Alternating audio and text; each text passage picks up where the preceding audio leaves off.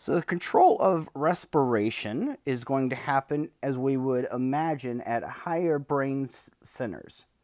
And specifically, it's going to be found in the medulla, the brainstem, and there's also going to be chemoreceptors and other reflexes that can control this. So the this control is a neural mechanism so there's specific neurons that are found in the medulla and the pons, so both parts of the brainstem. And these clusters of neurons, um, there's a couple different groups, one called the ventral respiratory group, one called the dorsal respiratory group. But what this does is it sets the normal respiratory rate called eupnea. And so as we look at this in a diagram, the respiratory centers in the brainstem. We can see the pontine respiratory centers here in the pons and the ventral respiratory group in the medulla just below that. So both again are in the brainstem. So what happens is these send a nerve signal, nerve impulse to the diaphragm and the external intercostal muscles. Remember, those are the two primary muscles that are involved with inspiration. So our next slide is showing a, a homeostatic imbalance that is very important to know, and it's hyperventilation. Hyperventilation is um, when somebody is breathing way too fast, they're kind of freaking out, and what the problem with that is that is going to um, increase the amount of carbon dioxide. So that could happen during like an anxiety attack, for example.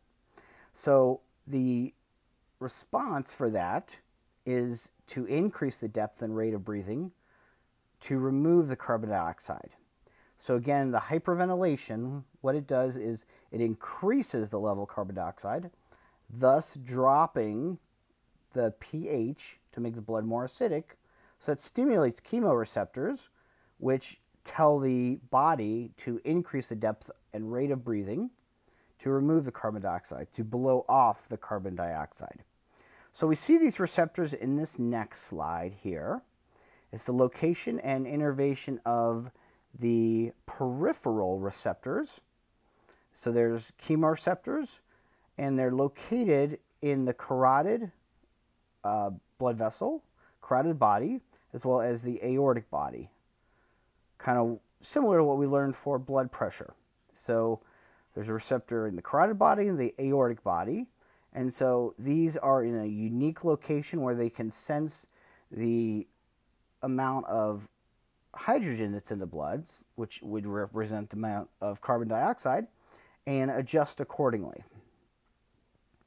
So factors that influence blood breathing rate and the depth of breathing are shown on this next slide.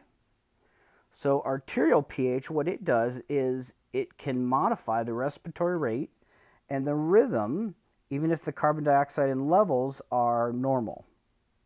And it's mediated by those peripheral chemoreceptors, the ones in the aortic body and the carotid body.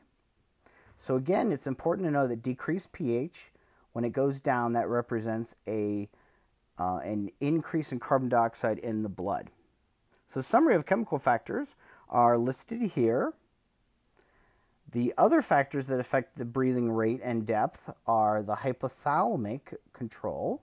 So other higher centers can also take over. So you can sort of cause yourself to try to relax a little bit, hopefully.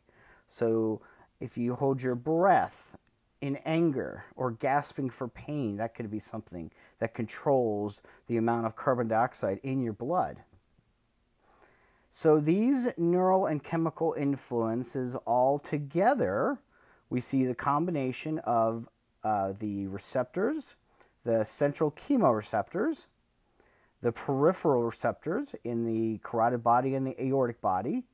The central ones are found in the brainstem, and these are all going to be responsive to stretch receptors in the lungs, irritants, and of course what's in the blood, what's sensed at these chemoreceptors.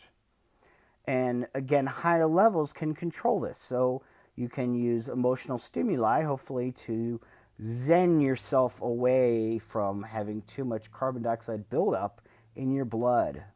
Or use higher brain centers, maybe voluntary control over breathing to stimulate the same thing.